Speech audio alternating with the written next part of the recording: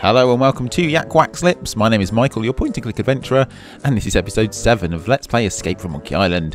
In the previous episode, we kind of just investigated Lucre a little bit more. I think we've kind of covered it now. I'll have to find out. Um, in the comments in yesterday's episode, I was told that I need to investigate this shop a little bit more, so I am going to do just that. And also, I need to head to the marshes, so I presume I can go onto the map and see the marshes. So I'm just going to, I mean, I can look at that Twiddle file retrieval system. Let's, let's do that for a start. Okay. So there's a bunny rabbit, a tree, pumpkin, monkey, bananas, and a rabbit again. Okay. Um, escape? Ah, forget it. Okay. Talk to Deadeye Dave again. Maybe I've Dave? missed something. Yes. Um, right, are you sensitive? Not to sensitive? be insensitive, but are you blind? Do I look blind? I don't know. The twin eye patches could be some sort of hip new pirate fashion statement. Of course I'm blind, you lilac scented party waste! Sorry. Don't give it a second thought. My other senses more than compensate for my lack of sight. For example, I usually can identify my customers by their distinctive individual odors. Ooh, excellent. Immediately, I'm thinking um, that spritzer bottle I've got. You can recognize people by their smell? Usually no problem. Today though my nose is stuffed up because I got a, a bit of a cold. Ah, so damn I can only recognize amplified odors, like the lilac aftershave you've generously applied to your face. Fortunately, my hearing's still sharper than a barge full of bunnies. Okay, so So, how sharp is your hearing anyway, Baldy? Sharp enough, Pinky. Baldy. Um, I'm looking for some gifts for my differently abled pirate. I'm looking for some friends. gifts for my differently abled pirate friends. Then you've come to the right place. What kinds of prostheses did you have in mind? A nose. A nose, a nose, a nose. Frankly, I'm in the market for a prosthetic nose. Sorry, we're fresh out. It's shocking how Oh, quickly my this in the last regular episode, customers blow through those things. I think. Oh, that's horrible. What have you got that's free? Yes. What have you got that's free? Free? Oh, what do you think I'm running? A charity? What can I say? I'm broke. Okay, you've appealed to my sense of generosity. Here's what I'll do. I'll let you have one of my untested, unguaranteed, unapproved experimental prosthetic devices. Neat. What kind of prosthetic devices are we talking about? I'll let you choose through a story. Huh? Humor me. Once upon a time, there was a pirate named Um, Harry? No, Larry. Larry? Larry. Larry wanted to win the hand of a fair maiden named Mindy? Mindy? Mindy. Sadly, Mindy's finger was already wearing the engagement ring of a bounder named. Fred. Fred? Yeah, Fred. Well, well, what? what happened? After many years of plotting, she became head of all the families and had them both whacked. The end. What a dreadful story. I know. Here's your free experimental prosthesis. What is it? That's a prototype for my own Deadeye Deluxe prosthetic head. It's for pirates who've lost so many ears, eyes, and noses that they prefer to start all over with a brand new head. How do you plan on duplicating the intricate thought process of the pirate brain? I plan on fixing that in my first patch release. so we have a head. Lovely. Have you heard from the final monkey? Right. I think we might have to. See you later. That makes one of us. Have we got anything in our, in our inventory that you can smell? I mean, a handkerchief. Let's give him the handkerchief. Blow his nose. Hey, does the smell in this hanky remind you of anything or anybody? Oh, don't. Let me see. Nope. I don't really smell much of anything in it. What do you mean? I thought blind people's. Hey, hey, hey, hey, visually challenged. Sorry, I thought visually challenged people's other senses become enhanced to offset the lack of vision. I mean, I have a fully functioning set of eyes, and even I can smell the foul odor coming off this hanky. Well, that only applies when my nose is clear. Oh, I've kind of got a little bit of a cold and stuffed nose, so I can't smell much right now. If you really need to make use of my amazing odor divining abilities, you're gonna have to find a way to give me an amplified version of this smell. Like how? Just follow your nose. Okay, so can we smell it? Use hank- let's, let's use handkerchief. It smells somewhat like hickory smoked fish. Hickory smoked fish. We have. Don't we have a fish? A dead fish. We have baits, don't we? It smells sort of like flowers growing in a cesspool. We don't have flowers, I don't think. It smells a little like fish snot. We do have fish again. It smells a tiny bit like a corpse floating in a bog. Tell you what, it gives me an idea. Let me just put that away. So what do we have here? That's a funny face.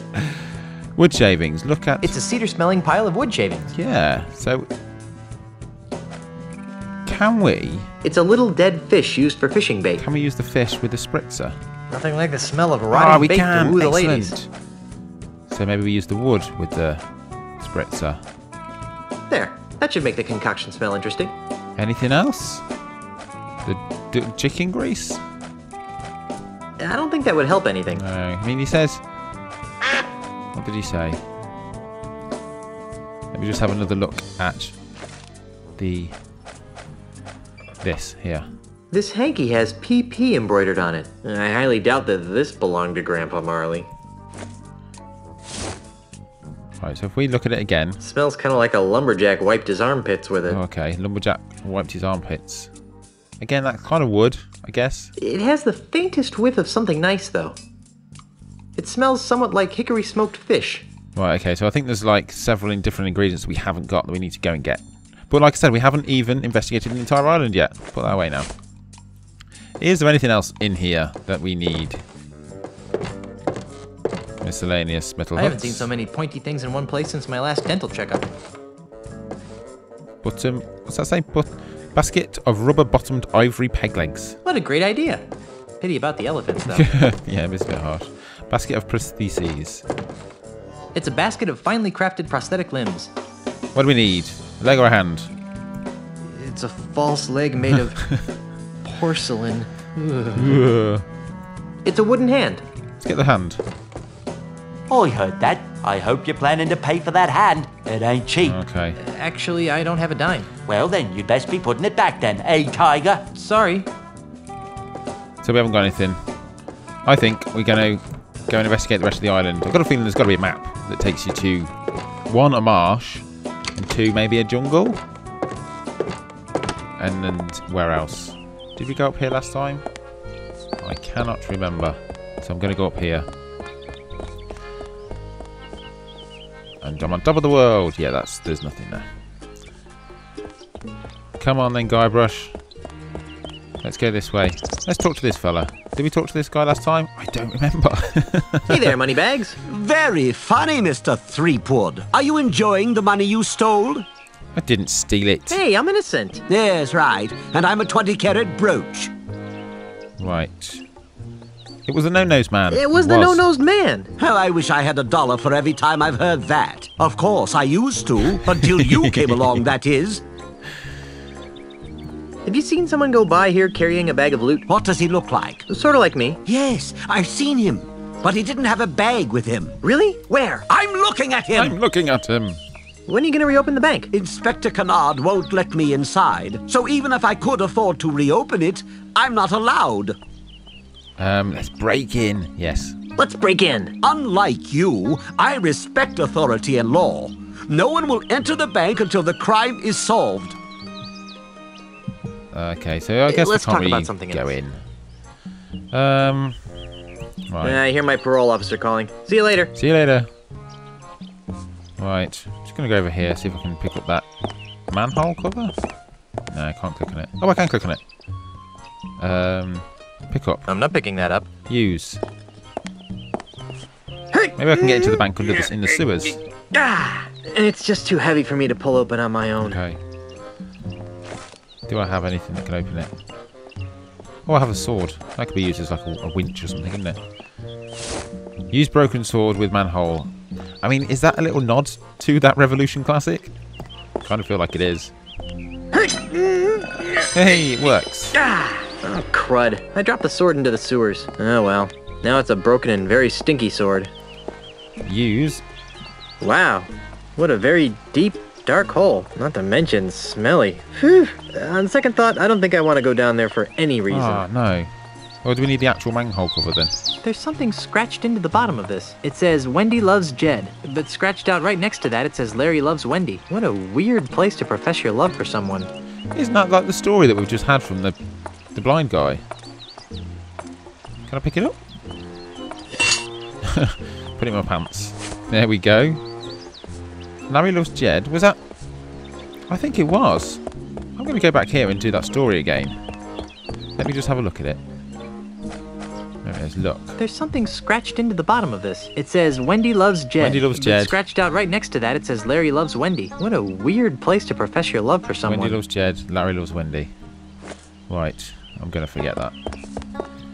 Wendy loves Jed. Larry loves Wendy.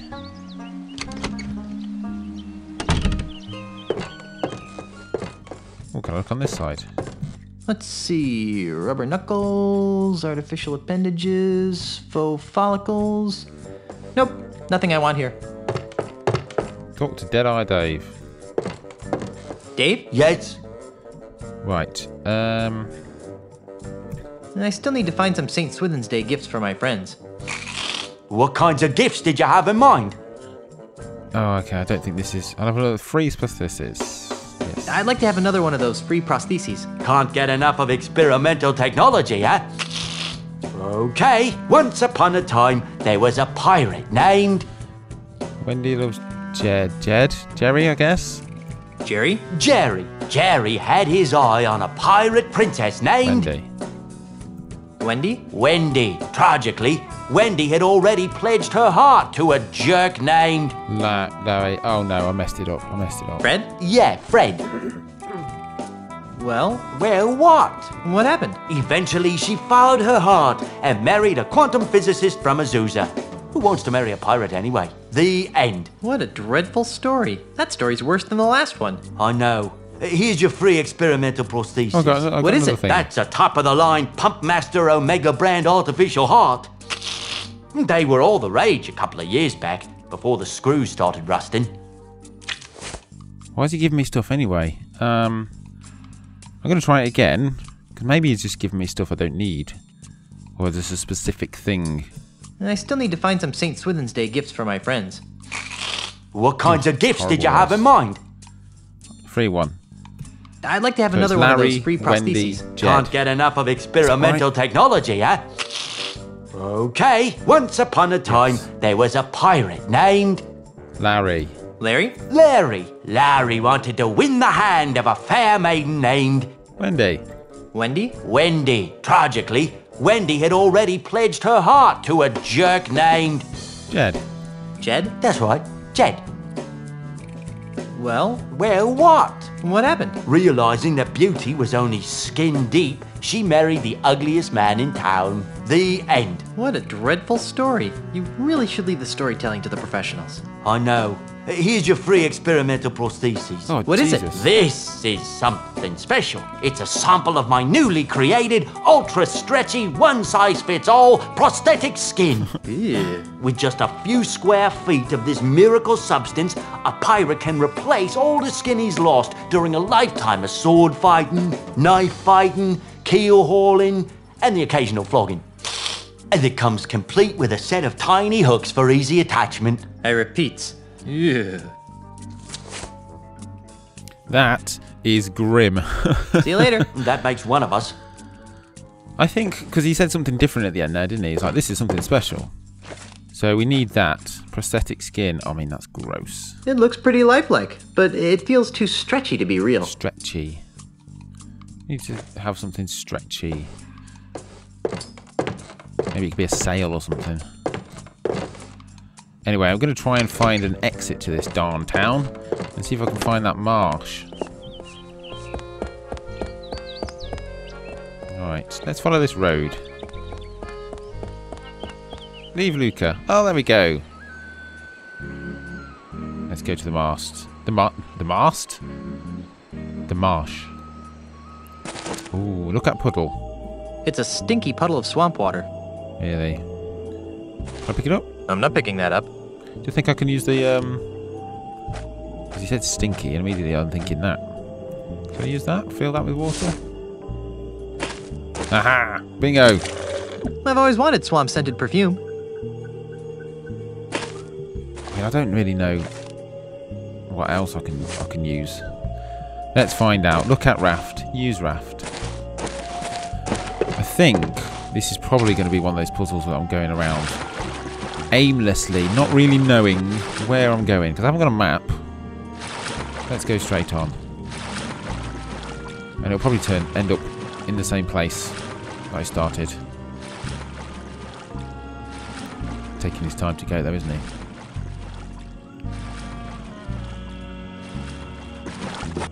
Got time? Yeah, I haven't got time. Maybe that's what I need that clock for, the chest clock. Can't go forwards there, so let's go right. Oh, it's a gate. Open gate. It's locked. Uh, I guess I don't have a key, do I? No, none of that's going to do. Use a duck.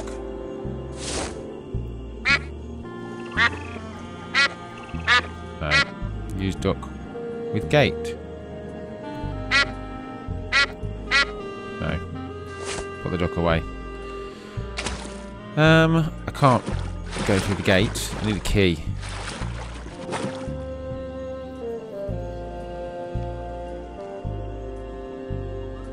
I don't think I'm making any progress here. Oh, damn it. Yeah, that's the start, isn't it? I'm not even going to attempt to go and try and look all over the place because... Yeah, he's not making any progress, I need a map of some sort. But I filled, I filled that thing up with water. Can I... Oh, I'll tell you what, I'll go to this big mansion, I guess? Kind of looks like an observatory, maybe. Foreboding Mansion. Oh, it is foreboding, isn't it? What I'm going to do is use this use this spritzer. See if it says it smells of anything.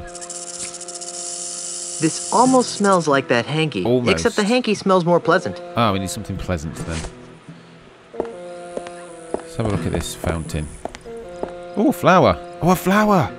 Maybe we can use that in the... Uh, use that with... No. That's not what I meant, Guybrush. Sorry, dude. Use that with the flower. There. That should make my concoction smell better. Awesome. So now if I spray it, does he say that it smells like anything? I don't want to use it with a scary fountain. I just want to use it. Hey, this smells exactly like that hanky, only stronger. That's awesome. Right. So I guess we go back and s spray it in Pete's face? Not Pete. What's his name? Dave. Right, let's put that away. Put away. Use. That fountain gives me the heebie-jeebies. Creepy mansion. I've got a feeling this is that! Australian guy. Yes, it is. Who are you? And what are you doing in my house? I'm Guybrush Threepwood, Mighty Pirate, Zillionaire, Monkey Wrangler, and Love Machine of Melee Island. Guybrush Threepwood, Monkey Wrangler. You can't fool me, Mr. Threepwood. It's common knowledge that there aren't any monkeys in the Caribbean. I think you're a scungy pirate. My name is Ozzie. Ozzie Mandrill. That name sounds familiar. Aren't you the forgotten member of a famous country western singing clan? Over the top heavy metal performer? Master of the pan flute? Pan flute. You're the master of the pan flute, right? Don't play the gink with me, Threepwood. Who's playing? Well then, allow me to illuminate the dingy corners of your mind. Ozzie Mandrill is a businessman, a capitalist, a real estate developer. I'm also the future king of the Caribbean. Hey, you're the guy who's trying to buy out the Scumm Bar. The Scumm Bar? That's just the tip of the aardvark. I'm gonna buy the whole Caribbean. The whole Caribbean. Or as us English people say, Caribbean. Why are you buying up all the land in the Caribbean? Because I'm a man with a vision. You too? What are yours like? I see a Caribbean freed from the chaotic plundering of grog swilling pirates. A Caribbean made safe for the orderly consumerism of family oriented themed restaurants and resorts. A Caribbean scrub clean of filth. A Caribbean you'd be proud to take home to your mother. Gee, mine are mostly about ice cream. Yeah, he said Caribbean, and then in that little monologue, he said Caribbean. Just a little thing I've noted. How do all my pirate friends fit into your capitalist utopia? Yeah. And how do all my pirate friends fit into your capitalist utopia? Ah, they'll be retrained. retrained. Retrained? Yes, the service based economies of tomorrow's Caribbean will need legions of waiters, janitors, maids, and dishwashers.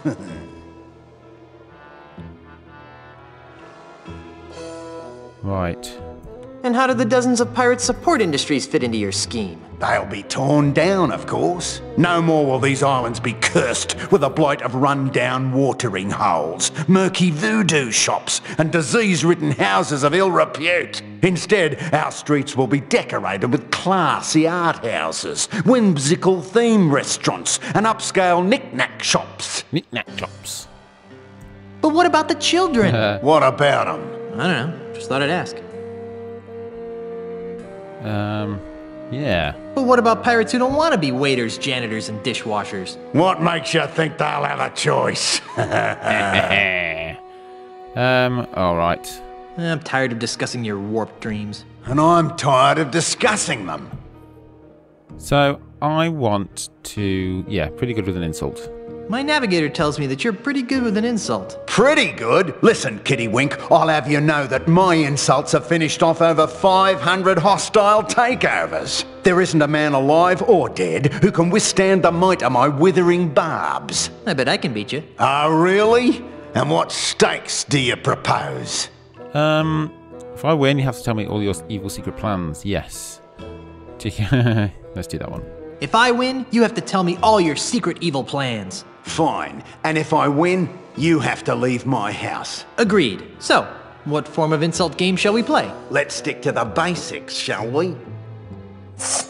Are we going to insult sword fight. Uh, presumably, I'm not going to win.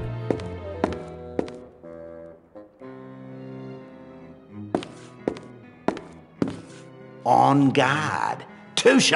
Oh, that is so cliche. This is the end for you, you gutter crawling cur. This is the end for you, you gutter crawling cur. I've got a little tip for you. Get the point? You wouldn't know Christmas from Bourke Street. What? I have no idea what you just said, yet I feel strangely insulted. You're not worth a zap. Yeah, he's just going to throw a lot of Australianisms at me, isn't he? I'm what, what, a what, what? I've seen better from a bludger. Can't argue with that. I'm sure that was a stinging insult, but I don't know why. Ha ha! I lost. Naturally. Now get out of my house. Okay, so we have to go and um. Yeah, we have to go and find that ultimate insult, wasn't it? That was in the safe deposit box. Let's go and see what's in this house here. Enter guest house. Turn around, Guybrush. Thank you very much. It's locked. Locked. What about scary looking fountain? That fountain gives me the heebie-jeebies. Um, can we go just in the grounds? Scary looking bird. Does that say scary looking bird? Oh, it's at the front of the house. That watchbird gives me the heebie-jeebies. Right, okay. What I think I'm going to do is go back to um, the Palace of Prostheses and spray that concoction into his face. And hopefully he'll, um, well, I don't know, tell us that he's smelt it before and lead us in the direction of Pegnose Pete. But we're going to do all of that in the next episode. If you've enjoyed today's episode, please leave a like. Really appreciate it. And until next time, have a wonderful morning, afternoon, evening, whatever it is you're doing right now. And take care.